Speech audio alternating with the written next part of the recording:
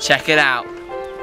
Last day, very last day, we are flying out today and we got our target snake, a ringneck snake. We are flipping tin and it was curled up underneath, made a dash for it, I grabbed it and check out that underneath. It's a young one so it hasn't developed the complete red belly but that is so awesome. This is such a cool find. I've always wanted to see one of these. I wanted to see one in the west but we didn't really get one and we didn't get time. And uh, I just think these are just so awesome. They were definitely, at least, my brother's. Uh, the guy is filming right now. It was his target snake. This is what he most wanted to see.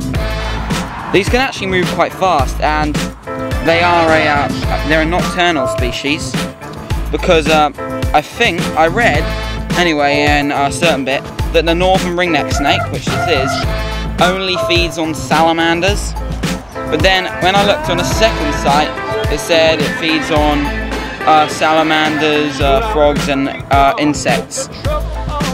As you can see, this is the ringneck's defensive technique.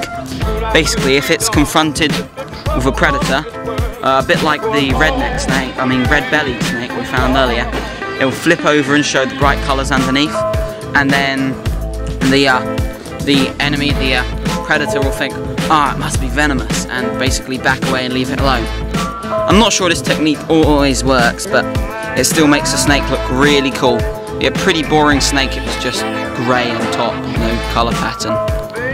The ring on its neck, aptly named because of that, and actually a really cute, docile, slender, terrestrial snake.